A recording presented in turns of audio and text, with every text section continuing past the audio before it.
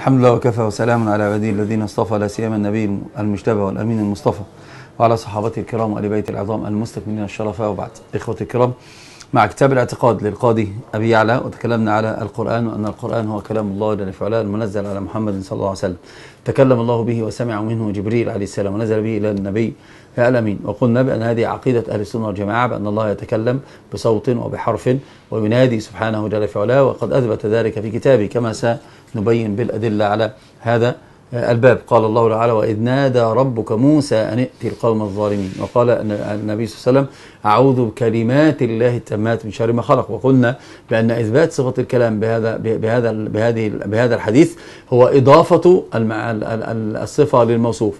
أعوذ بكلمات الله التامات كما قال الله جل وعلا وإن أحد من المشركين استجارك فأجره حتى يسمع كلام الله طيب. تفضل. الحمد لله والصلاة والسلام على رسول الله وعلى آله وصحبه ومن والاه. اللهم صل على محمد صلى الله عليه وسلم. قال الإمام رحمه الله صفة الكلام.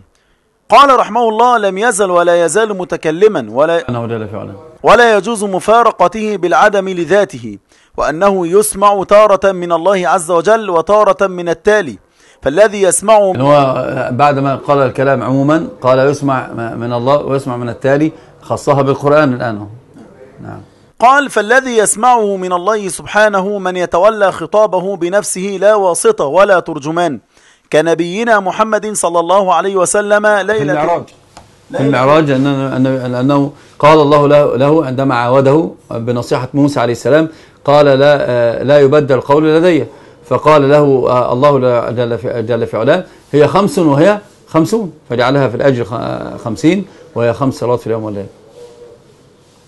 قال فالذي يسمعه من الله سبحانه من يتولى خطابه بنفسه لا واسطة ولا ترجمان. كنبينا محمد صلى الله عليه وسلم ليلة المعراج لما كلمه وموسى عليه السلام على جبل الطور. فكذلك سبيل من يتولى خطابه بنفسه من ملائكته. ومن عدا ذلك فإنما يسمع كلام الله القديم على الحقيقة من التالي وهو حرف مفهوم وصوت مسموع. وهو؟ وهو حرف مفهوم وصوت مسموع. أن الله يتكلم بصوت وبحرف وهذا باتفاق أهل السنة والجماعة بأن الله تعالى متكلم يتكلم آه، سبحانه جل في علاه وقت ما شاء بما شاء سبحانه جل في علاه وأنه يسمع ف ومن على ذلك فإنه يسمع كلام كلام الله القديم على الحقيقة من التالي وهو حرف مفهوم. طبعا لابد أن ننظر في مسألة كلام الله القديم في هذا الباب. إحنا قلنا بأن صفة الكلام صفة الكلام صفات فعلية صفة فعلية. صحيح قديمة النوع حادثة الأفراد لأن هذا مهم جدا في هذا الباب. لأن لا نقول أنه قديم كما يقولون بأنها صفة ذات هي ليست صفة ذات هي صفة صفة فعل. لكن هو كما قلنا آه، قديمة النوع. أن الطحاوي ضرب مثلا عظيما في هذا الباب. قال لو مررت على رجل آه، كلمته ولم يرد عليك كلمته ولم يرد عليك. أيام وليالي ثم في يوم تكلمت معه فرد عليك بما بما شاء. فلا يقال عنه أنه كان قبل ذلك لا يستطيع الكلام أو أخرس لا يقال هو كان متكلما لكن ما أراد أن يرد عليك إلا حينما جاءه أمر يعني الرضا منه بأن يرد عليك. فصفة الكلام صفة فعل وصفة فعل تتعلق بالمشيئة وهي أيضا لها أسباب. فنقول بأنه يتصف الله بها تارة ولا يتصف بها تارة لكنها قديمة النوع. لأنه لم يكن لم تكن مكتسبة حاشا لله وإلا فمن كمال الله أن تكون قديمة النوع. وهي حديث الأفراد وهذه كمال فوق آه، كمال وكلام الله تعالى ثابت بالكتاب والسنة وإجماع أهل السنة ونماذج نماذج, نماذج كلام الله جل وعلا لعباده كثيرة. منها أن الله جل وعلا تكلم مع المل- الملائكة وسمع وسمع الملائكة صوت الله جل وعلا كما في حديث النبي صلى الله عليه وسلم أنه آه، إذا تكلم الوحي سمع الملائكة كأنما سلسلة على صفوان حتى إذا فزع عن قلوبهم قالوا ماذا؟ قال ربكم قالوا الحق وهو العلي الكبير. قال الله جل في علاه وإذ قال ربك للملائكة إني جاعل في الأرض خليفة. وقال الله جل في علاه وإذ قلنا للملائكة اسجدوا لآدم فسجدوا إلا إبليس. وتكلم الله تعالى مع آدم ومع حواء. قال الله جل في علاه يا آدم أنبئهم بأسمائهم. قال الله جل في علاه لآدم وحواء ألم أنهكما عن تلكما الشجرة وأقول لكما أن الشيطان لكما عدو مبين؟ كل ذلك سمعوه من الله جل في علاه. وتكلم الله مع جبريل حين قال النبي صلى الله عليه وسلم إن الله إذا أحب عبدا نادى في السماء أن يا جبريل إني أحب فلان فأحبه فأحبه فيكتب له القبول في الأرض.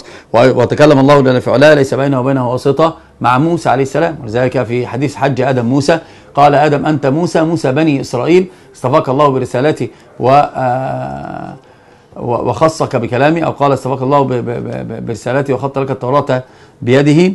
فالله تعالى كلم موسى وخص موسى بالكلام لذلك قال الله جل وعلا وكلم الله موسى تكليما والفعل الم- المفعول المطلق هنا يبين تأكيد تأكيد للفعل فهو الكلام. وكلم الله موسى تكليما ولذلك قال الله جل في علاه على تفضيله للرسل قال منهم من كلم الله ورفع بعضهم فوق ورفع بعضهم درجات. وقد تكلم الله تعالى بلا بلا واسطة وبلا ترجمان أيضا. مع نبينا محمد صلى الله عليه وسلم في المعراج. حين قال حين نصحه موسى عليه السلام قال عالجت الناس قبلك راجع ربك. فراجع ربه فقال الله في علاه لا يبدل القول لدي. ثم قال هي خمس وهي وهي خمسون. بينه وبين الله جل في علاه ليس بينه وبينه ترجمان. بل يوم القيامة تتكلم مع مع مع خلقه ليس بينه وبينه ترجمان. قد قال ابن عمر لما سألوه أيكم يحفظ حديث ال- المناجات قال أنا أحفظ حديث المناجات ثم قال قال النبي صلى الله عليه وسلم ما منكم من أحد إلا وسيكلمه الله ليس بينه وبينه ترجمان. إلى آخر الحديث. بل وقد تكلم آه، مع السماوات والأرض. وس- قال الله تعالى ثم استوى إلى السماء وهي دخان فقال لها وللأرض ائتيا طوعا أو كرها؟ قالتا أتينا طائعين. وتكلم الله مع. مع مع جهنم. حين يقول الله تعالى يوم نقول هذا يوم القيامة يوم نقول لجهنم هل امتلأت وتقول هل من مزيد؟ وأيضا تكلم مع الجنة ومع النار عندما احتجت الجنة واحتجت النار اختصمت الجنة والنار لله عز وجل قالت الجنة فقال الجنة أنت رحمتي وقال النار أنت أنت عذابي ويتكلم الله تعالى يوم القيامة مع مع أهل الجنة عندما يقول سلام قول قولا من رب رحيم. يقول الله جل وعلا آه، لعباده آه، تريدون شيئا؟ يقولون ألم ألم تريدوا جهنم؟ ادخلنا الجنة؟ أم تكفرون عن سيئاتنا؟ فيقول إن لكم موعدا عندنا إن لكم إن, لكم عندنا موعدا أنجزكموه وهذا كله بقول الله جل في علاه لعباده سبحانه جل في علاه. وأيضا الله جل في علاه يقول لأهل النار اخسأوا فيها ولا ولا تكلمون. وقال لابليس فإنك من المنظرين إلى يوم الوقت المعلوم. فإذا آه، الله تعالى قد تكلم مع مع خلقه وسمعوا من الله تعالى آه، كلامه. والله جل في علاه يتكلم بصوت كما قلنا وبحرف كما في حديث الصحيحين أن النبي صلى الله عليه وسلم أو صحيح مسلم أن النبي صلى الله عليه وسلم قال يجمع الله الأولين والآخرين فيناديهم بصوت هو يتكلم بصوت بحرف ألف لام حرف يتكلم بصوت يسمعه من بعد كما يسمعه من من قرب. وأما أدلة إثبات القرآن ان القرآن كلام الله جل في علاه في الكتاب كثيرة ومن السنة من إجماع أهل السنة بل ومن السلف الصالح. اما في الكتاب فقد قال الله جل في علاه وإن أحد من المشركين استجارك فأجره حتى يسمع كلام الله. اضاف الكلام لله. وقلنا المضاف إلى الله تكرار جميل جدا للشطار إضافة الكلام لله علاه إضافة إيش؟ ال- المضاف نوعان إضافة معنى وإضافة عين مستقلة. فإضافة المعاني إضافة صفة الموصوف. طيب. وهذا مثل حديث النبي صلى الله عليه وسلم أعوذ بكلمات الله التامات بشر ما خلق. وأيضا قال الله جل وعلا يريدون أن يبدلوا كلام الله فأضاف الكلام لله جل وعلا وأيضا قال الله تعالى يسمعون كلام الله ثم يحرفونه من بعد ما عقلوه. وأما من السنة فقد قال النبي صلى الله عليه وسلم في خطبته إن أفضل الكلام كلام الله. فأضاف الكلام لله جل وعلا إضافة صفة للموصوف. وأجمعت الأمة على أن الله تعالى يتكلم وأن القرآن هو كلام الله جل في علاه. ليس بمخلوق بل كفروا من قال بأن الكلام كلام بأن بأن القرآن مخلوق. أبو بكر الصديق رضي الله عنه وأرضاه لما راهن قريش على على على أن الروم ستغلب لما سألوه قالوا من قال لك بهذا أو من أنبأك بهذا قال كلام ربي ثم قال آه، آه، قال ألف لام غلبت الروم في أدنى الأرض وهم من بعد غلبهم سيغلبون في بضع سنين.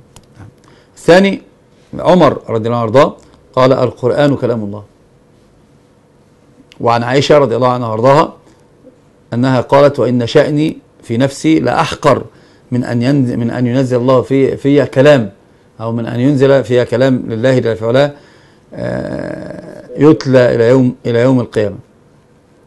وعن عثمان قال لو طرت قلوبنا ما شبعنا من كلام الله. كان ابن مسعود يقبل القرآن ويقول كتاب رب كتاب ربي. من أراد أن يختبر حبه لله فليعرض نفسه على على كلامه. فإن القرآن صفة, صفة من صفات الله جل وعلا لذلك ابن عباس سمع رجل يتكا يخاصم رجلا فقال ورب القرآن. فقال قف قف. ماذا تقصد؟ قال الله تكلم بالقرآن. فقال نعم. إذا فقل. أما من قال بخلق القرآن فهو من الجهمية ولذلك قال أحمد الجهمية كفار. وكفرهم حقا. يعني المسألة على العام على المسألة ليست ليست مسألة إقامة حجة وزاد شبهة عند الإمام أحمد في هذا الباب. وأما وجوه آه، يعني وجوه آه، تكفير الجهمية أو تكفير من قال بأن القرآن مخلوق كثيرة. منها أولا أن القول بأن القرآن م- مخلوق كذب صريح على الله وعلا تكذيب لله وتكذيب الله كفر. لأن الله قال حتى يسمع كلام كلام الله. قال وكلم الله موسى تكليما. فهذا تكذيب لله جل وعلا الثاني أن القول بخلق القرآن فيه تشبيك الخالق بالمخلوق. وقد قال النعيم بن حماد من شبه الخالق بالمخلوق فقد كفر. الوجه الثالث في ذلك إجماع الأمة. فقد أجمعت الأمة على أن من قال بأن القرآن مخلوق فقد كفر. قال أحمد من قال القرآن مخلوق فهو عندنا كافر. قال عبد الله بن المبارك من قال القرآن مخلوق فهو زنديق. قال سفيان بن عيينة من قال أن القرآن مخلوق فهو كافر ومن شك في كفره فهو كافر. هذا شديد هذا. مع أن أحمد لما يقول بذلك يتكلم على على على النوع لا على العين. أحمد في قول هذا على النوع لا على العين. والدلاله على ذلك المأمون نفسه المأمون نفسه يقول بذلك ولم يكفره. وحرم الخروج عليه. مع أنه قال ببدعة الآن لكن حرم الخروج عليه. وسئل وكيع ابن الجراح الرؤاسي عن ذبائح الجهمية وأنهم يقولون بخلق القرآن قال لا تؤكل هم مرتدون. نعم. وقال الإمام جعفر الصادق أن القائل بخلق القرآن كافر ويقتل ولا يستتاب. طبعا هذا فيه نظر أنا قلت العلماء من المحققين يرون بأنه على النوع لا على على العين حتى لا يكون الأمر فيه ما فيه.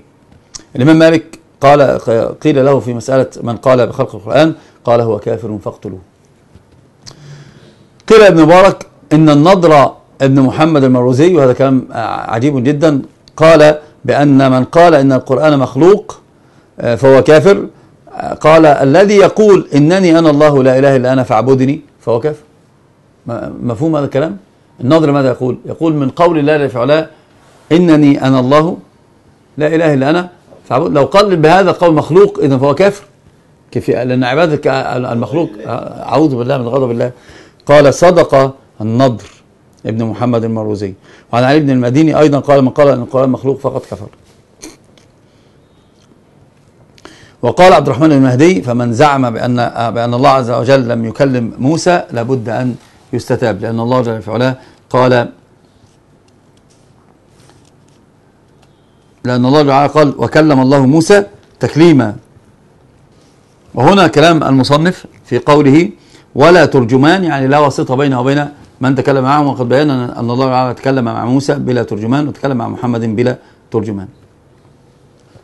وقول المصنف وما ومن عدا ذلك فإنما يسمع كلام الله القديم على الحقيقة من التالي هو حرف مفهوم وصوت مسموع. فيها إثبات الحرف وصوت الكلام الله جل في علاه وأن الله يتكلم بصوت وحرف وأيضا في من آه، قال في أوله قال وأنه يسمع تارة من الله عز وجل وتارة من التالي الذي الذي الذي يقرأه فالذي يسمعه من الله سبحانه وتعالى ومن يتولى خطاب نفسه لا واسطة ولا ترجمان أما الثاني فهو يكون لو قلنا يعني هذه المسألة لو أراد أن يشير بها إلى مسألة النسبة وإنه لقرآن كريم في وإنه لقول رسول كريم. فإن الله تعالى نسب القرآن له ابتداء. والله جل وعلا تكلم بالقرآن.